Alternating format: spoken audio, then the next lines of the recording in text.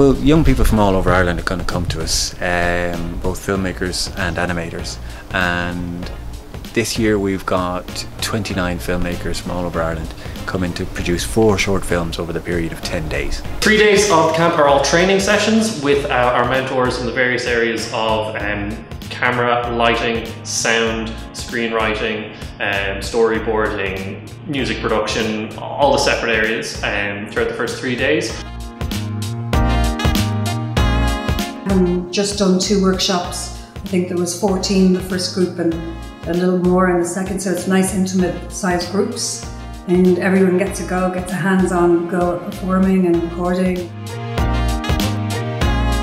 They have three days of film shoots where they crew the entire production themselves. They are the directors, they are the lighting team, they are the camera team, sound team, and so on. They deal directly with the actors, they're the ones recording everything. It's a great experience, my first time ever being director. Um, I'm not that experienced in film at all, so this like I've learned so much today. So it's really giving me a sense of what if I chose to be a director as a career, or even working on a film set, really like what it would be like if I was to do it every day.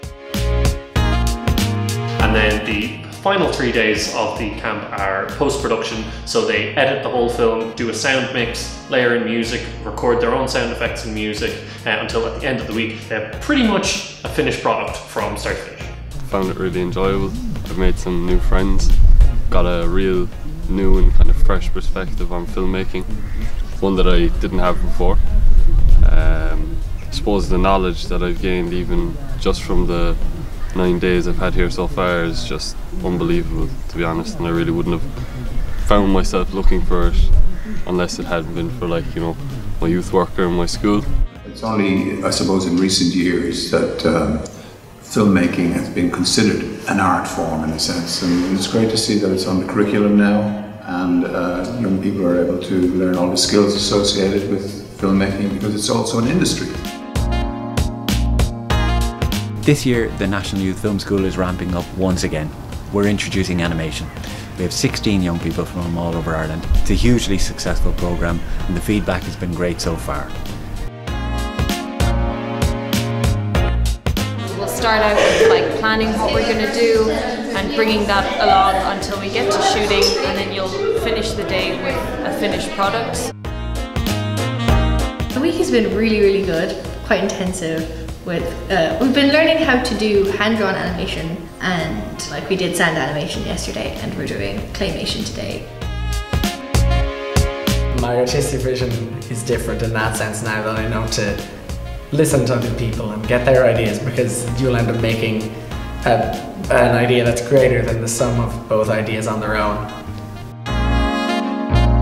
I made loads of friends, uh, that was really fun. Um, and I made loads of like kind of developing connections animation wise. Like I get to hang out with all these people and I get to learn off them and everything. And Paper Panther was amazing and they taught us so much.